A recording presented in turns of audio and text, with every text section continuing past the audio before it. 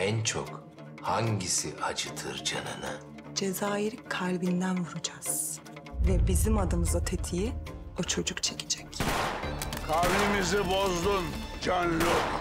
Onlar memleketi karıştırmanın peşinde, biz de onların peşinde olacağız. Namlunun ucunda bir tek ben mi varım sanıyorsun? İkisini de öldürecekler. Öldürecek misin Ekabir? Gözümü kırpmadan vur ama. Abimden bir daha hiç haber alamayacaksın. Abim gitti mi?